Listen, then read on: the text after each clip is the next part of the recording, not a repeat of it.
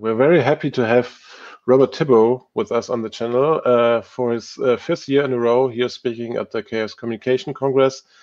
Uh, today's lecturer, Robert Tibbo, uh, you probably know him um, as a lawyer uh, involved in the Snowden case. Um, his uh, lecture today is called The Continued Erosion of International Law and Human Rights Under a Global Pandemic. And, um, and yeah, let's hear it, and we'll be here later for a Q&A.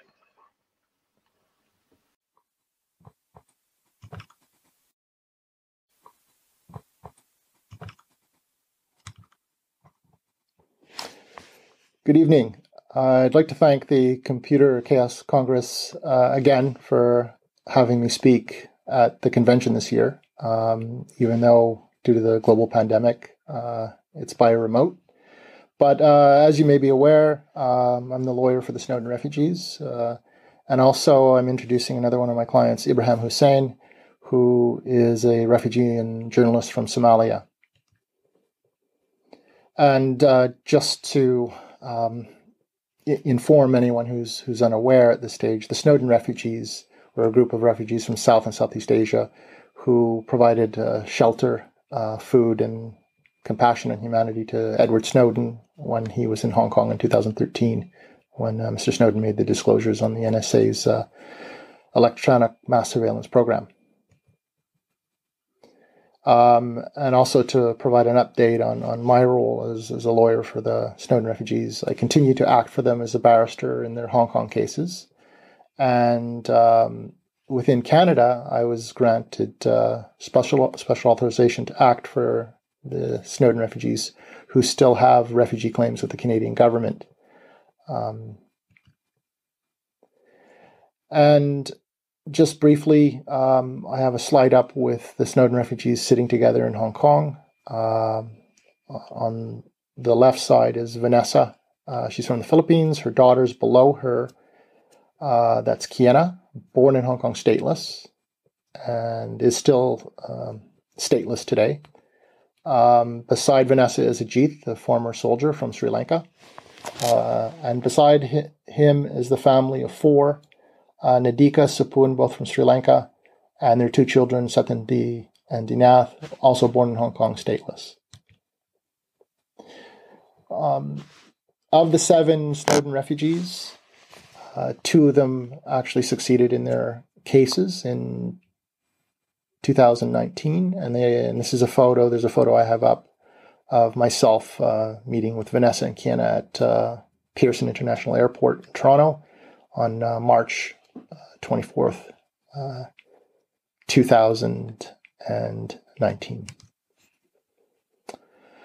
Um, a year ago, I talked about the uh, decline in human rights around the globe. Uh, nothing has changed since a year ago. Um, and with the COVID 19 global uh, pandemic, things have just gotten a lot worse.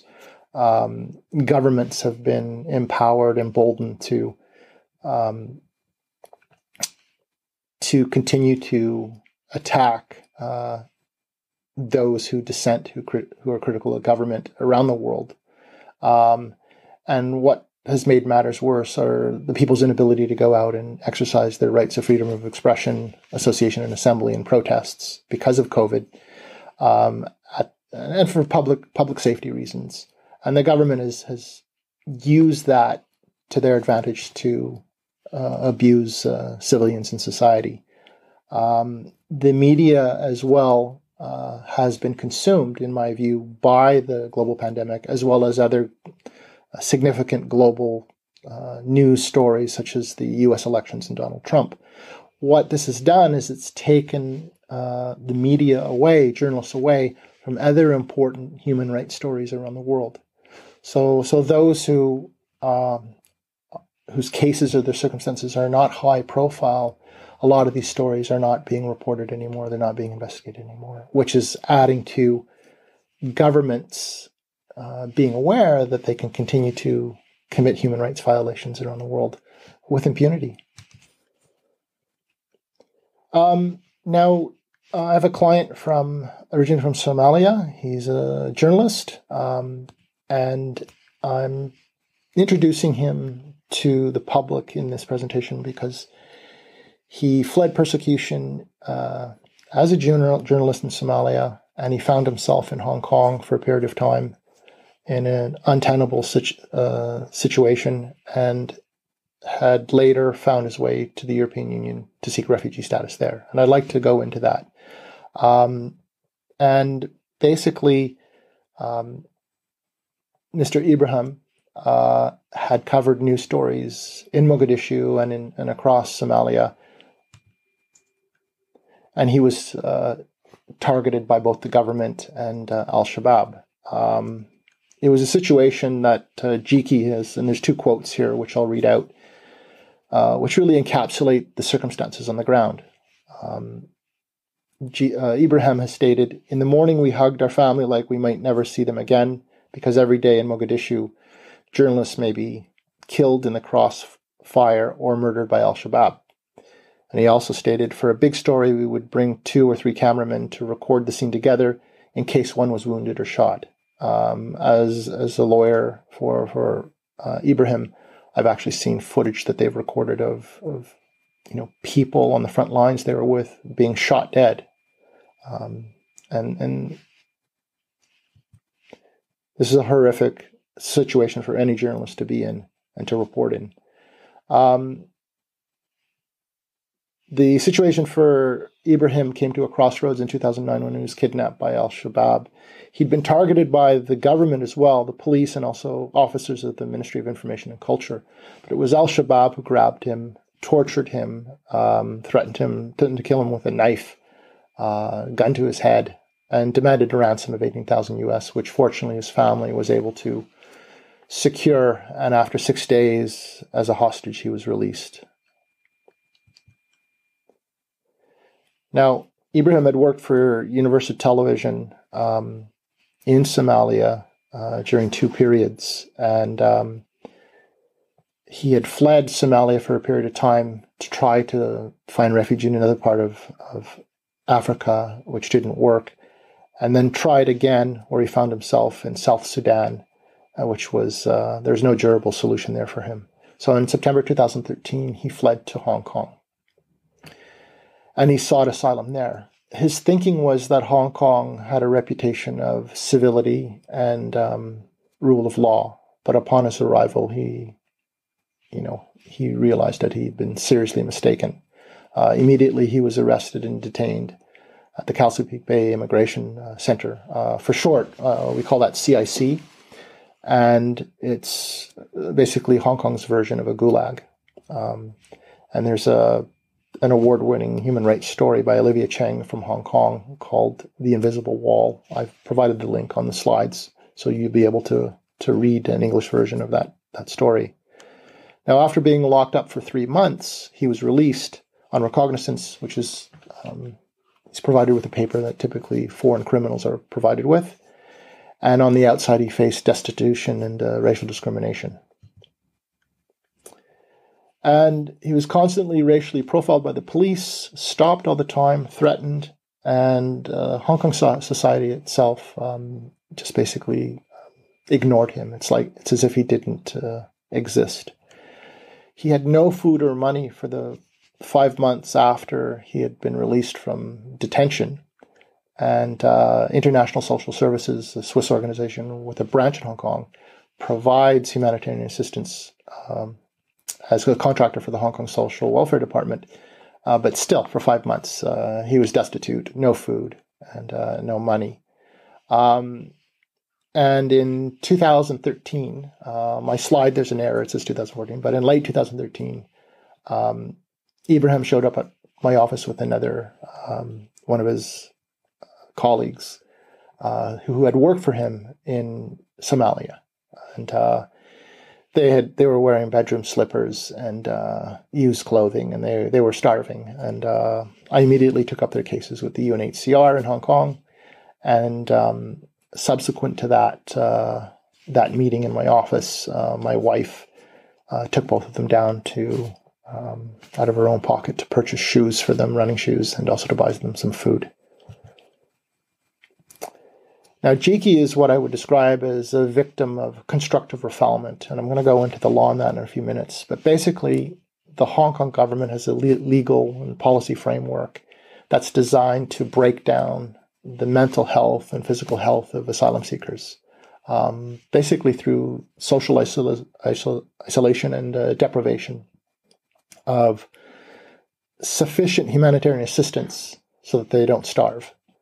Um, and Kee described a situation uh, a few days ago, looking back, after the asylum seeking community protested and occupied social welfare and international social services offices in 2014, protesting not having enough food or rent money to survive, it felt like my mind was breaking. I felt I would die in Hong Kong.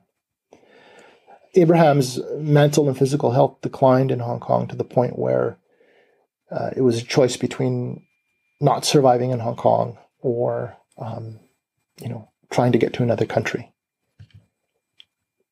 Uh, the South China Morning Post reported his situation as a journalist, and uh, the reporter stated, um, "An experience of the worst in humanity was not what Ibrahim Mohammed Hussein expected when he touched down in Hong Kong eight months ago, fresh from persecution in Africa." Now, I mentioned constructive refoulement, and this is a a, a framework and um, a strategy that's implemented by the Hong Kong government and um, professors at Chinese University um, have described it as follows Given that a necessary consequence of the government's policies is social exclusion and destitution, there are major concerns, particularly for the mental health of refugees. This is especially the case because refugees stranded in the territory faced indefinite periods while claims are processed, all the while plagued by uncertainty. Such, such concerns not only raise the issues of compatibility with the ICESCR, and ICCPR, but also place the individual concerned at risk of returning to the source of danger, thus offending the doctrine of constructive refoulement. So Hong Kong's prohibited from returning anybody who's seeking asylum in Hong Kong uh, until after the cases are screened and rejected. Okay, but the Hong Kong government, um, in parallel with you know with the, that policy that they have to follow, uh, the law they have to follow to screen refugees or asylum seekers, is they make their lives so miserable, so difficult, that these asylum seekers' mental health deteriorates to the point where they give up and they, they would rather return home to die there. Ibrahim left Hong Kong, uh, but under international law um, and Hong Kong's policies, uh, they sent him back to Somalia. He was quickly targeted again. And over a number of years, he sought internal flight relocation alternatives within Somalia. It didn't work, and then he finally left Somalia and found his way to the European Union, ending up in Greece. Uh, the first camp he was put in is the Maria Moria uh, refugee camp, which uh, Ibrahim describes as a place of violence. Uh, there was violence on a daily basis. There was a lack of resources, food. Um, the conditions were inhuman and degrading. And uh, Ibrahim himself and the people in his uh, makeshift uh, structure where they stayed uh, were attacked on seven occasions during that time. And um, uh, the other thing that Ibrahim has, has, has stated is that uh, the the police just stood by and watched. They allowed that to happen. They acquiesced to the violence against other refugees. And um, the plus side of Ibrahim making it to the European Union was there's a screening process that proceeded quickly compared to Hong Kong. And the second uh, plus is that uh, the screening system in the European Union countries um, actually grants refugees refugees that status uh, if they can make their case that they have a well-founded fear of persecution. In Hong Kong, the acceptance rate was zero, and Hong Kong not being a signatory to the UN Convention relating to the status of refugees, um, you know, even if you succeeded, you could not obtain refugee status in Hong Kong, uh, and you could not resettle there. And this is a picture of uh, Ibrahim at the Moria refugee camp. Uh, there was a arson and a large fire at the camp, which left him five days on the streets outside the camp, and then he would be sent to the Lesbos refugee camp thereafter. Um, now, with his acceptance as a refugee in June 2020, um, he was still stuck in the camp. And here's another photo of uh, Ibrahim uh, when he went to the Lesbos camp. There were no toilets, no showers, lack of resources. And um, And in late 2020, uh, the Greek government uh, moved, uh, allowed uh, Ibrahim to leave uh, the camps, and he's now living in a Greek community, uh, supported only for a limited period, period of time by the government in January 2021. there's a mistake on my slide. I have 2020. It should be 2021. Um, he'll have to fend for himself. Um, and I, I've brought up introduced Ibrahim here to everybody today because he, he's been in both Hong Kong and he's found his way to the European Union. There are serious problems on both sides of the, of the, of the globe. Um, but he is uh, grateful that uh, he, the proper screening is uh, apparently happening in the European Union and he's now safe. Um, in my view, he's an extraordinary person, um, extraordinary journalist, and there are very few journalists like this on the planet um, with his commit, commitment and willingness to have taken the risks, uh, risking his life to um, report, do reporting in, in Somalia. Um, Ibrahim would like to continue working as a journalist. Um, again, he's just landing on his feet in uh, in Greece right now and waiting for his formal documents, all his formal documents to be issued. But he's looking to continue to work as a journalist.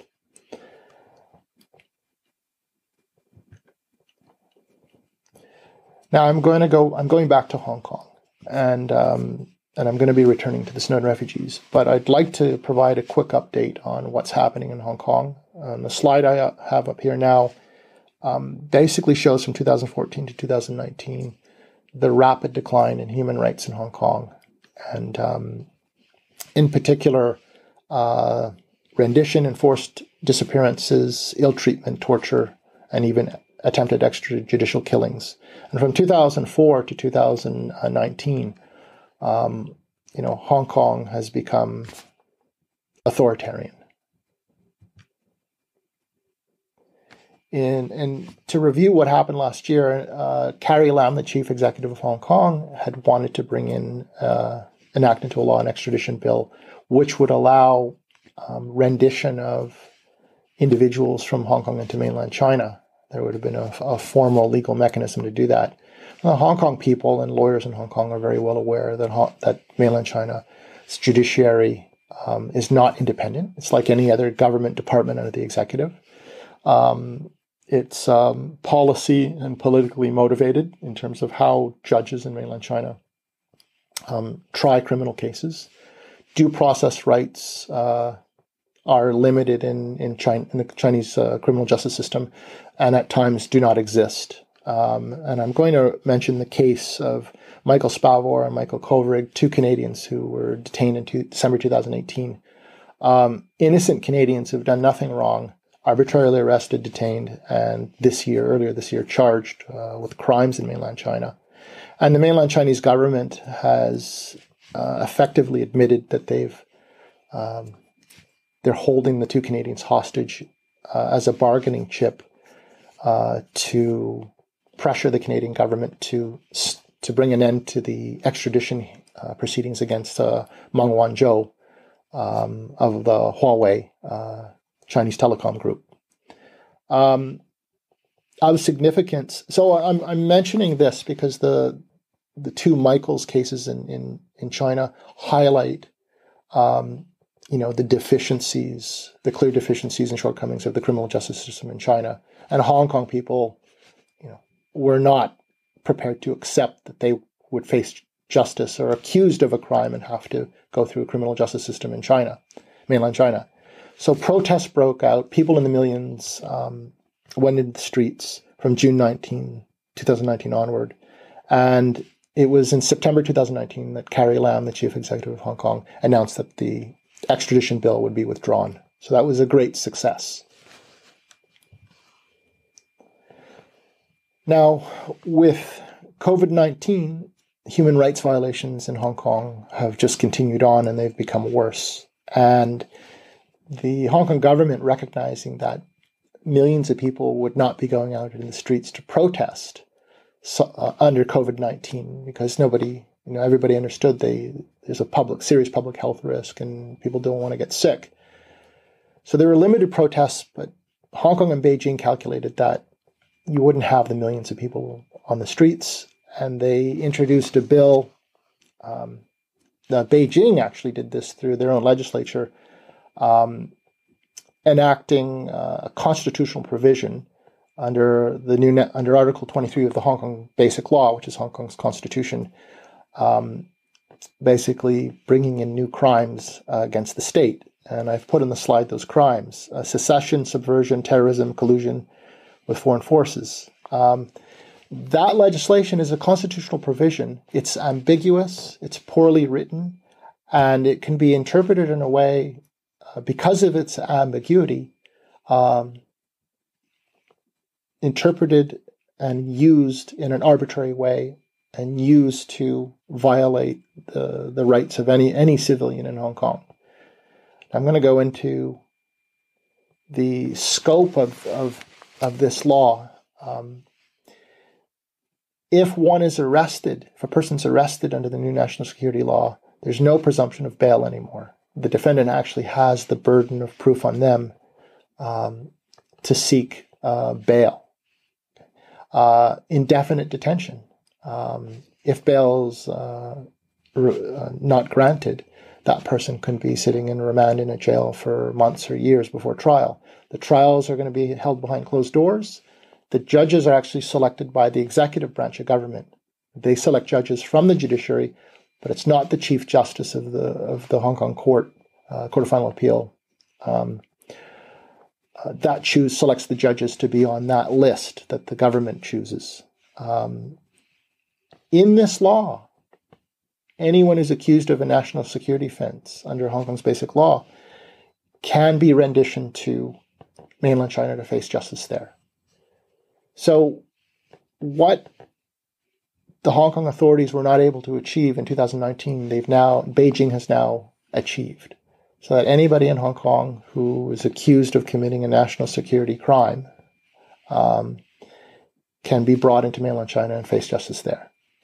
Um, extraterritorial criminality, uh, anybody who writes something, says something, does something that is critical of the Hong Kong government um, if the Hong Kong authorities feel that this is uh, an act of secession or subversion, um, they can seek the extradition of that person, let's say in Canada or in Germany or another country. So this new national security law has a global reach. Okay. Consequence of this is countries in Europe, including Germany, um, the United States, Canada, New Zealand, the UK, Australia, have all either suspended or terminated the extradition agreements, treaties that they have with Hong Kong. The reason being is um, the new national security law is a de facto backdoor uh, to for Beijing to extradite people from around the world. Very few countries have extradition treaties with mainland China because of the shortcomings in its criminal justice system. And um, I've put up a slide just listing a few countries that have suspended treaties. And um, now, within the Hong Kong uh, legal uh, government itself, three branches of government the executive branch, legislative, and judiciary it's quite clear that Beijing now has uh, firm control over uh, the executive branch of government. Uh, Carrie Lam, um, you know, loyal to Beijing, um, you know, following through on directions from Beijing. Uh, also in 2020, we saw um, officers from uh, mainland China um, now working in Hong Kong side by side with Hong Kong civil servants and, and basically advising and directing. The legislature, um, a number of pro democracy legislators were removed actually by Beijing, and new legislation was um, imposed by Beijing that anyone who um, is viewed as uh, a risk to national security, okay, without trial, uh, can be removed from the legislature. Uh, there were supposed to be elections for the legislature in uh, earlier this year. They were canceled because of COVID. Um, and with the new new law imposed by Beijing, there was a mass resignation by the pro democracy legislators in Hong Kong. So effectively, Beijing has taken control of Hong Kong's legislature. The last or third branch of government, the judiciary, um, there's been a, no- a, number of cases uh, where judges have brought in their political opinions. Um, most significantly, a non permanent judge of the Court of Final Appeal, Australian Justice Spigelman, resigned in September this year from the Court of Final Appeal, uh, citing the new national security law. Freedom of expression in Hong Kong is frozen. Freedom of association, assembly, and mobility have severely diminished. Um, Hong Kong was ranked 18th in the world uh, in terms of freedom of the press uh, and journalism. But in 2020, it's it fell down to 80th place. Um, in the news right now has been the arrest of Jimmy Lai, the founder of Apple Daily, under the national security law.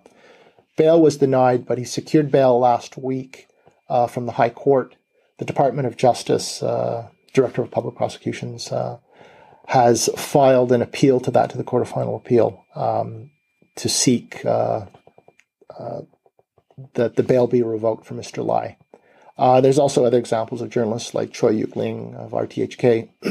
what the Hong Kong authorities have been doing the last year is if they if they cannot find a basis to arrest an individual journalist or activist or politician on under the new national security law, they use some dra- draconian uh, laws um, uh, or try to find some technicality to you know arrest somebody uh, for something that's not even related to their work.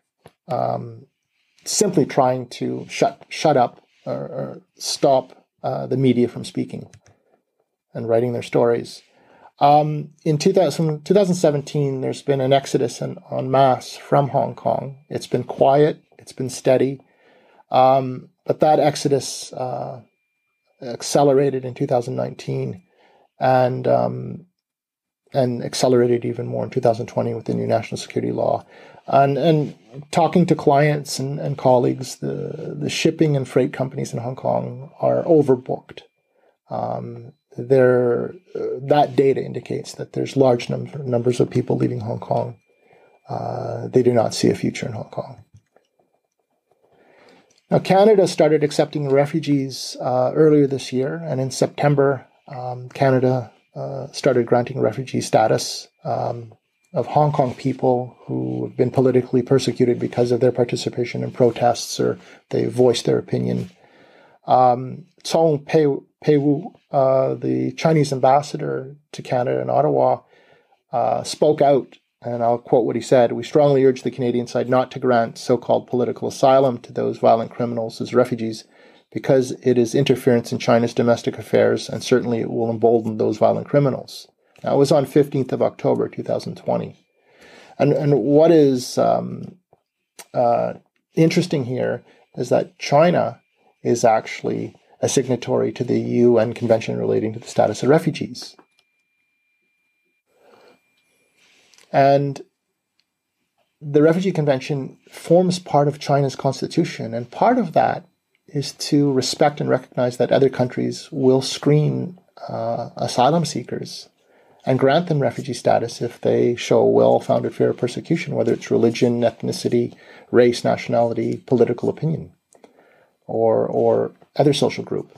Um, and, and what's also interesting is that in under the, the Refugee Convention, under Article 1F and 33.2, but 1F in particular, that if anybody had committed a, a serious violent offense, let's say in Hong Kong, even if they're granted uh, recognized as a, a refugee, uh, they would not be granted refugee status because of that violence.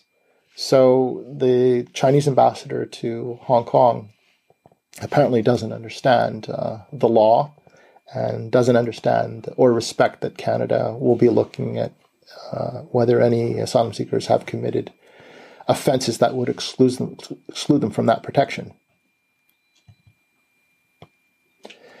Um, over the last uh, year, uh, we've seen legislators, former legislators, uh, members of political opposing political parties flee the jurisdiction.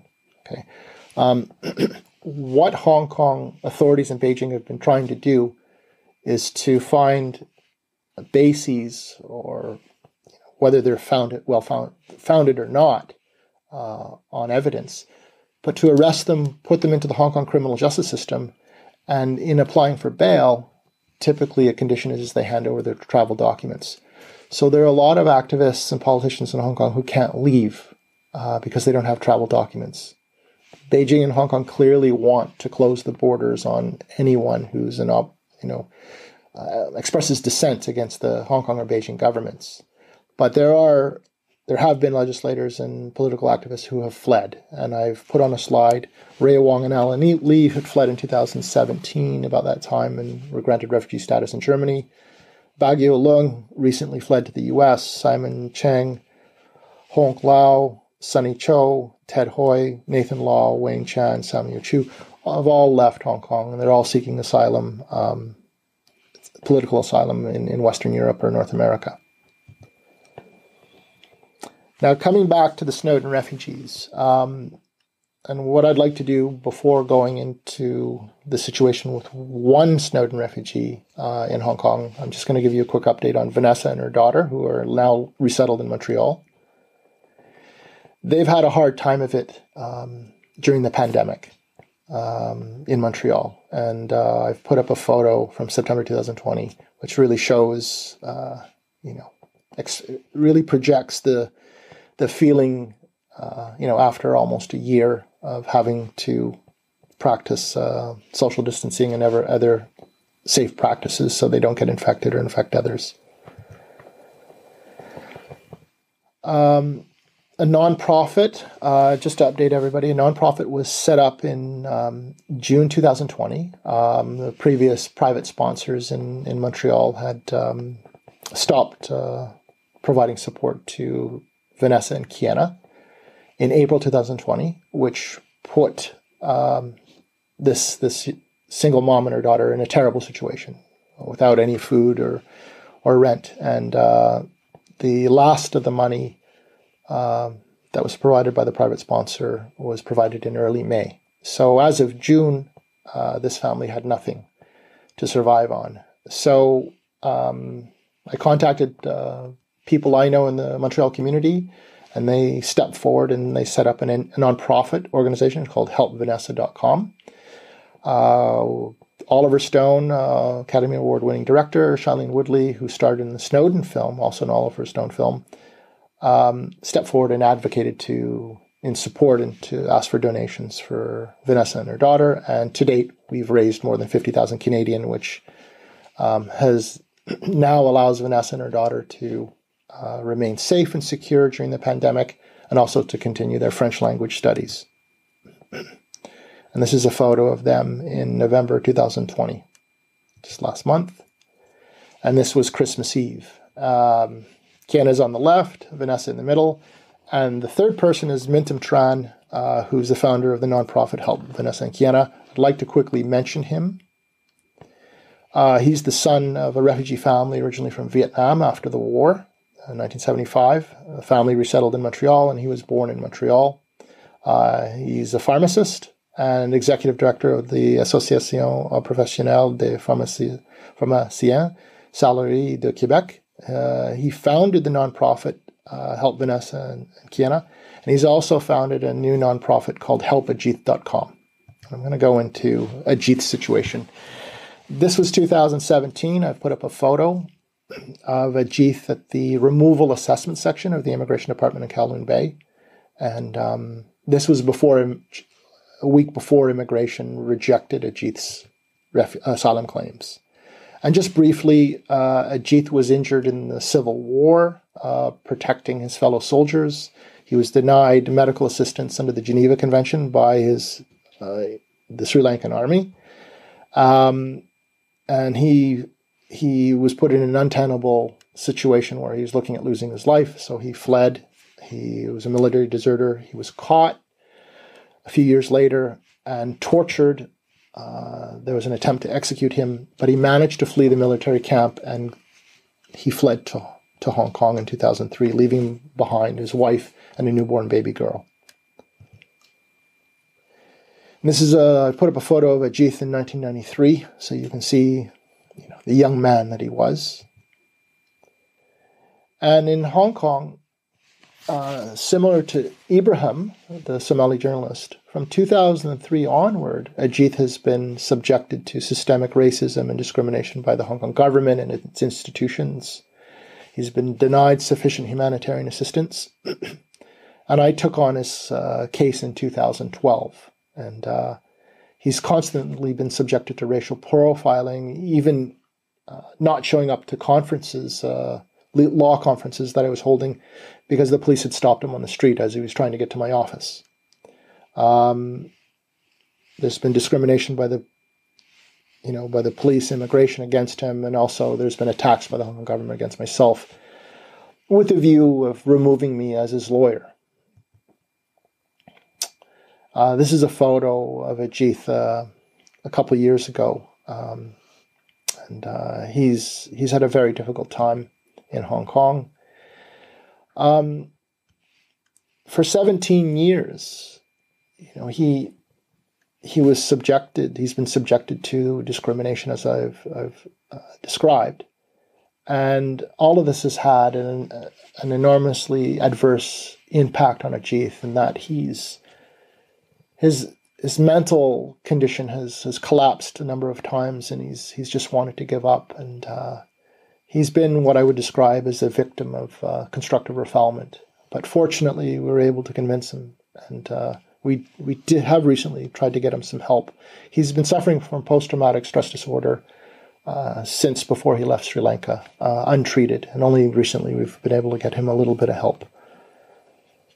Um, going to his role with Mr. Snowden in 2013 when Mr. Snowden arrived, um, Ajith, despite all the terrible things that have happened to him, the persecution he's and discrimination he suffered in Sri Lanka and Hong Kong, Ajith stepped forward and, and you know was more than willing to help Mr. Snowden uh, shelter in 2013. And in 2016, because of Ajith's story coming into the public domain, um, the Hong Kong government targeted him because of his assistance to Mr. Snowden and uh, targeted myself. And in 2018, Ajith was left without the support of the Duty Lawyer Service, but myself and another lawyer found a solicitor willing to instruct us privately to continue his appeal.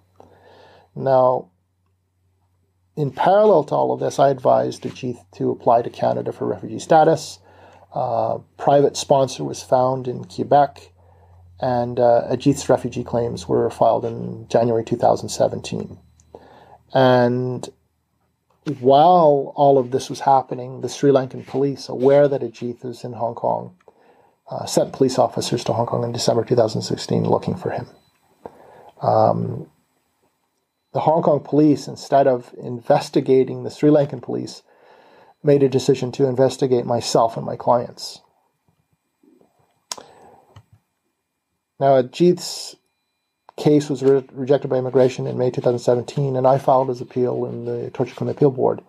And this is a major update um, on Ajith's situation in, in Hong Kong, in that his appeal was heard by a, an Australian adjudicator and barrister Adam Moore, into who took up his, who was the adjudicator in his case in 2017, heard his full appeal in June 2018, and no, no decision has been handed down in three and a half years. From 2018 to November this year, Adam Moore had not handed down a decision, and there is no explanation for that. And then suddenly in November 2020, the Torture Claim Appeal Board announced that uh, Mr. Moore was no longer the adjudicator without giving any reason. And now a, a panel of three adjudicators would hear Ajith's case and start that process all over again. Um, this is uh, this is a process that's been delayed and, in my view, abused by the Security Bureau and the Torture Claim Appeal Board. Uh, it is, there's no rational basis why um, the Torture Claim Appeal Board did not hand down a decision on Ajith's case years ago. And uh, this is an example of how this part of the judiciary uh, there's a lack of transparency and accountability. And um, the second significant event is that one of the three adjudicators is an Australian uh, adjudicator named uh, Fraser Syme, and he's one of the three on the new panel of three for Ajith's appeal. Mr. Syme was also the same adjudicator in the appeal of the other Snowden refugee family of Supun Nadika and the two children. And Mr. Syme rejected their appeals.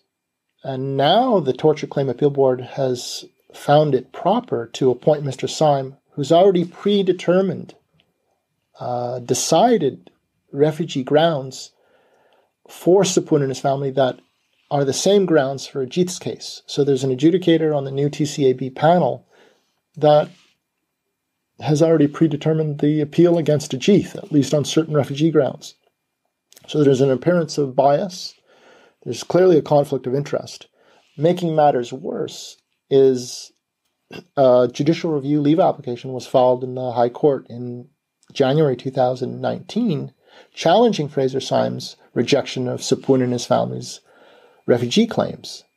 So the Torture Claim Appeal Board has put in Mr. Symes knowing full well that his decision in, on, on the exact refugee grounds um, for Supun and also Ajith, those common grounds, may be overturned by the High Court. So it's quite clear um, with years of delay, inordinate delay, and the removal or disappearance of Adam Moore as the adjudicator, and com- you know the constitution of a new tribunal after so many years with Fraser Syme on there that he's not receiving a, a fair process here, a fair hearing. Um, now, in terms of Ajith's mental health situation, uh, the 2019 pro democracy protests and the police crackdowns Ajith saw firsthand how the police were acting arbitrarily and attacking innocent bystanders, uh, protesters, and this re traumatized Ajith. These are the same scenes and the same conduct of police in Hong Kong that he witnessed in Sri Lanka when he was in Sri Lanka. The new national security law, similar to the Prevention of uh, Terrorism Act in Sri Lanka, is another factor which has re traumatized Ajith, and he's in fear for his life. Making matters worse, there's an immigration amendment bill that's just been brought into the legislature. And mind you, the legislature has no opposition. It's basically pro Beijing controlled. And in this new legislation, immigration officers will now be able to carry guns and steel batons uh, when dealing with refugees. This is simply going to re traumatize my client and other refugees. Um, there's now powers to detain asylum seekers effectively indefinitely when they're in Hong Kong.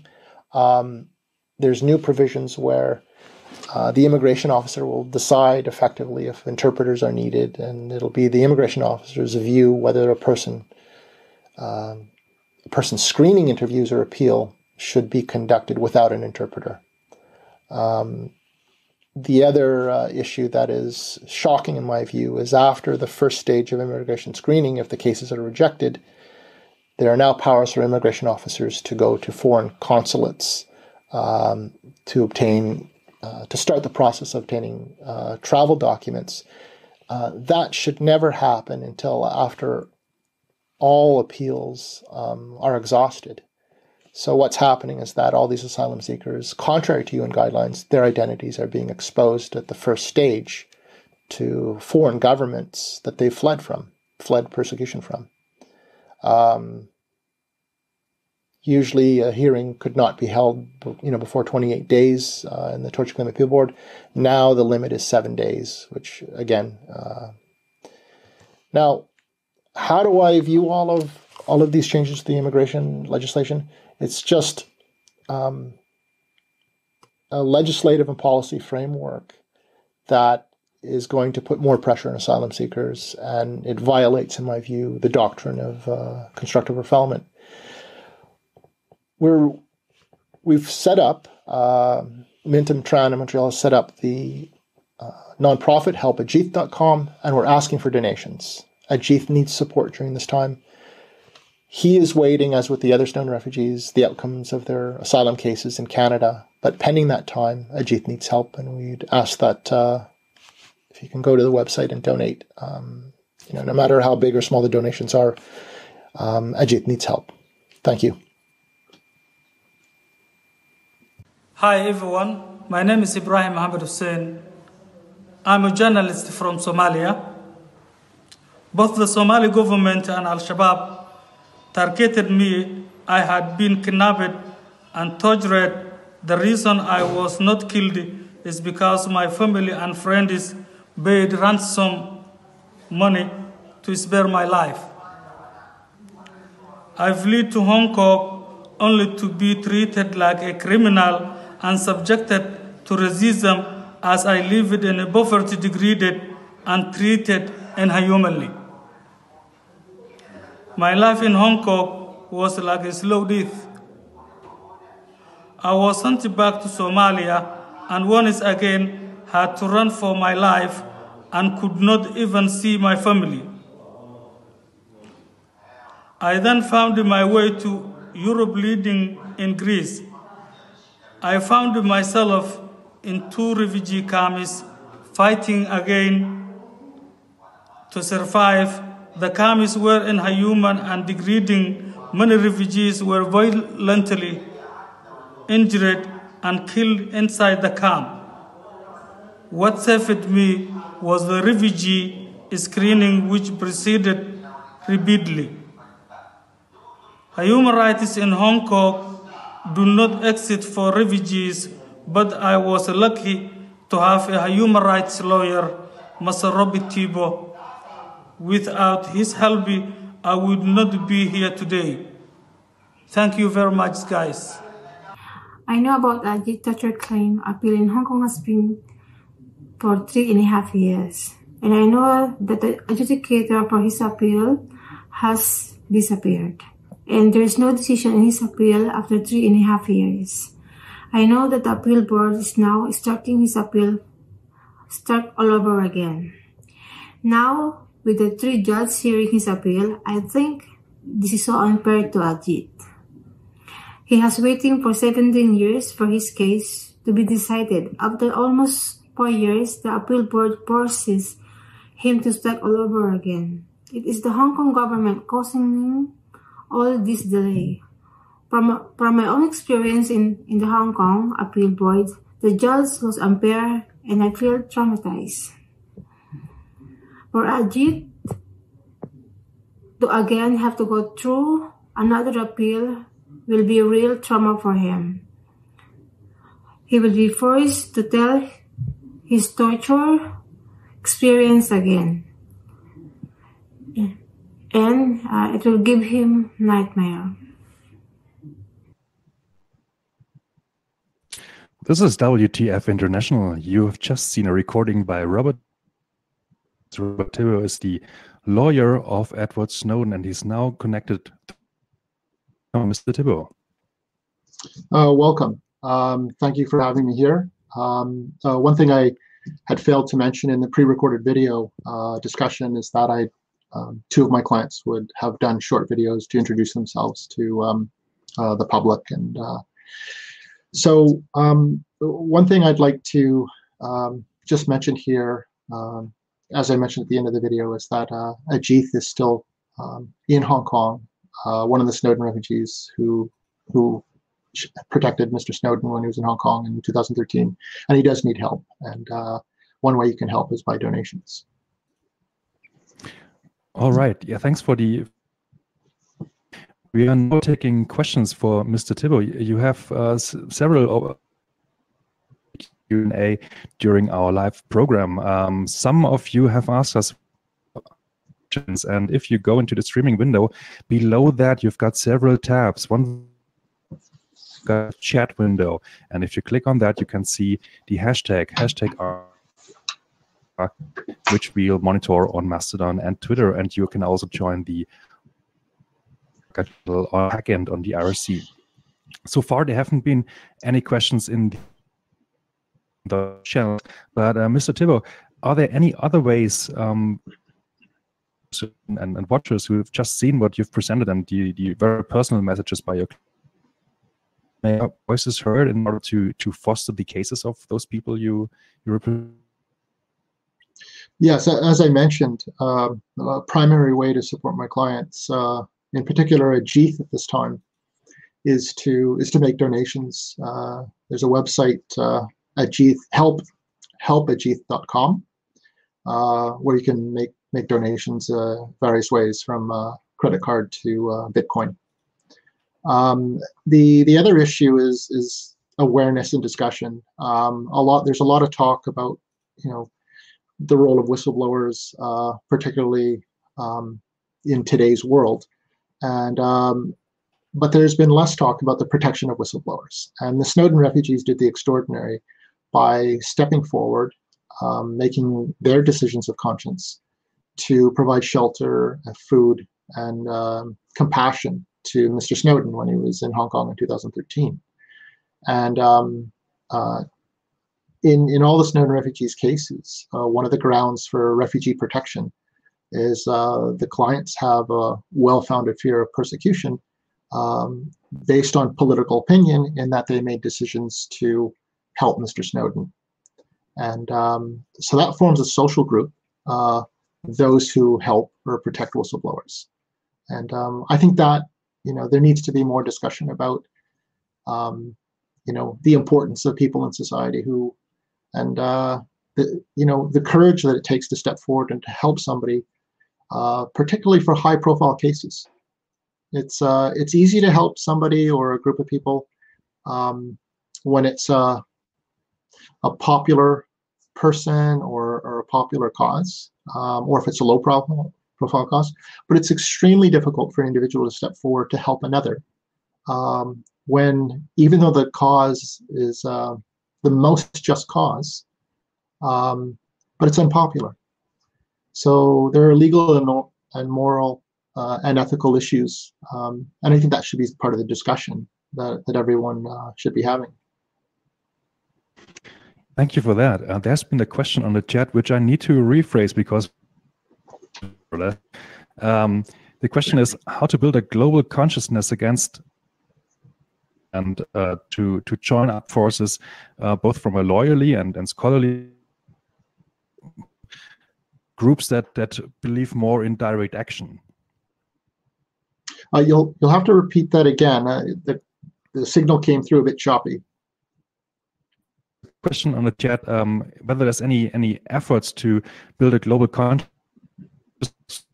state oppression more or less and uh, coordinate between teams that take a more that believe more in direct action um, i think what's happening is you're seeing uh, this kind of action uh, with nonprofits uh, lawyers um, through protests and you're seeing it uh, within communities, within cities, uh, within whole jurisdictions. But I, I think what's happened with the COVID situation is, you know, that that's basically compelled everybody because of the public health issues, you know, self-isolating, social distancing, masks.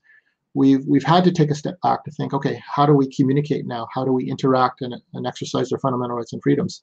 So I think we're in a in a dangerous period where um, you know, we're we're still struggling how to connect globally uh, to cooperate and bring this kind of awareness about. Um, the second issue is to do that, you need to be able to get the message out through advocacy and activism. Um, right now, the, the COVID pandemic consumes the media reports. Uh, I've been told about 75 or 85 percent of you know news coverage in a given uh, media organization 75 to 85 percent. Um, at the same time, governments are using the cover of COVID, uh, the global pandemic, to suppress freedom of expression and uh, to strip away fundamental rights and freedoms. So I think the question is a great question, and I think it's a matter of, you know, when doing this through encrypted means, doing it where you have your privacy, for global groups to consider how do we connect up together, what messages we want to get out, but then the real challenge will be getting the message out through um, to the public uh, because of the current uh, global pandemic. Are there already um, well to to go ahead and prepare all the messaging to to come out of the pandemic if and when it together? I, uh, as far like I'm not aware of, of any concerted efforts uh, globally. I mean, there are some nonprofits around the world who are trying to get you know messages out. They're trying to get stakeholders of those affected in different jurisdictions. But but right now, um, uh, I'm not aware of of you know any organized concerted effort to to try to have this sort of global connection and, and, uh, and being able to speak globally, but also locally, you know, informing the, the global community what's going on. Um, I think we're, it, it's just um, difficult time. Uh, one of the best examples is Hong Kong with COVID, the COVID uh, uh, pandemic there. There's been four waves. And in the midst of the second wave of the pandemic in Hong Kong, Beijing imposed the new national security law, uh, which basically has stripped away um, you know, fundamental rights of freedom of expression.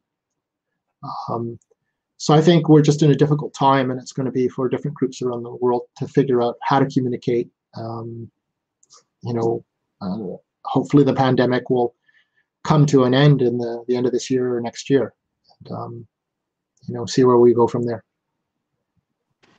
There's one more question from the chat, and I think it's a softball pitch, more or less free autonomous press or free autonomous media as in decentralized, uh, probably un-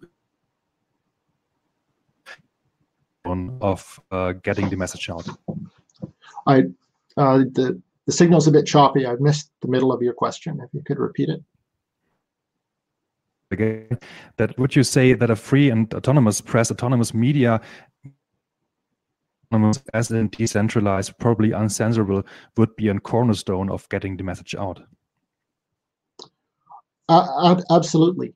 Um, you know, one one thing that I've talked about in, in past talks and um, is that two two things have happened uh, is ha are happening at this time and have been happening over the last decade, and that is um, uh, journalism has you know mainstream journalism is being eroded. Uh, investigative journalists uh, are fewer in number today, and journalism has become more centralized in major urban centers. Uh, and in, in smaller cities, towns, rural areas, uh, there is no more journalism there at all in, in, in, a lot of regions around the world. And when those things happen, uh, you have poor behavior of local government um, in terms of policies, uh, public expenditure, and also abuses of human rights.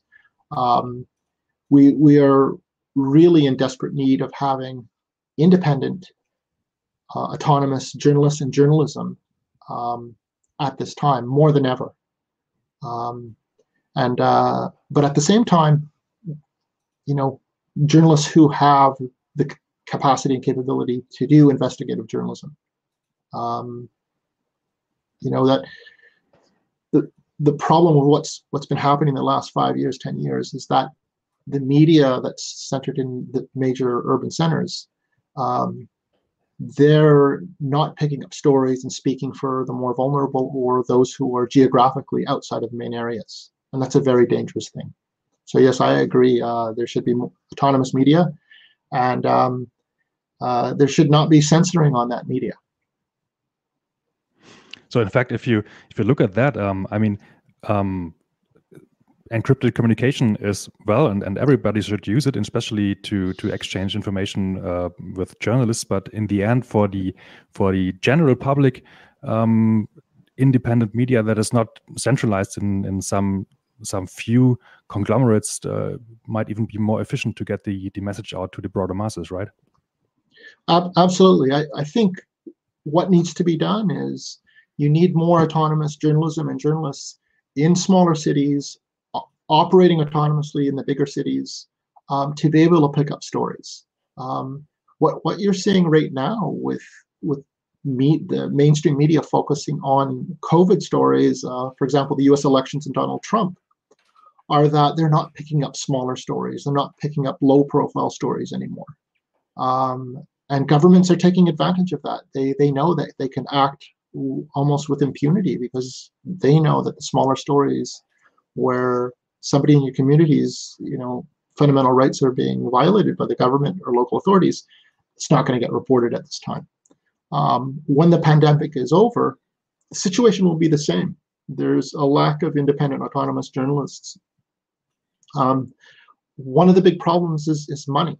Um, you know, a lot of the money that used to go into advertising for mainstream media, uh, even local newspapers, is now going online. People are spending their time looking at, you know, online media that has nothing to do with their local communities or their even their countries.